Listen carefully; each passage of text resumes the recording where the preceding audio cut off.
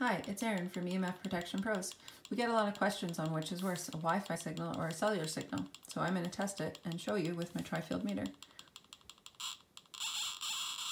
Okay, only my cellular signal is on.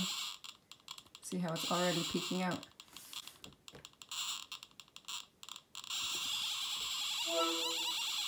And this is what happens when I receive a FaceTime call.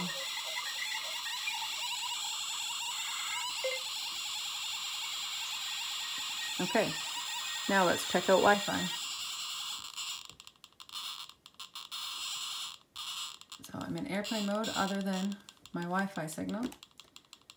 Look at the difference in the signal.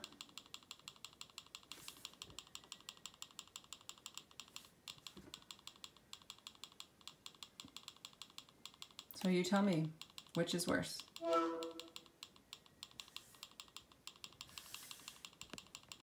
Now let's look at the difference in RF between streaming a video over Wi-Fi or cellular data. First, Wi-Fi.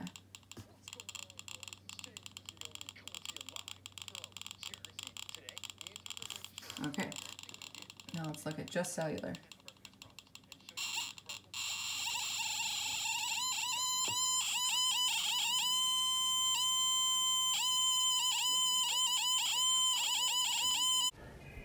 To reduce your EMF exposure from your phone, you're going to want to turn off your cell signal and location services as much as possible and use your Wi Fi instead. For more tips on how to limit your exposure to cell phone radiation, click the link below.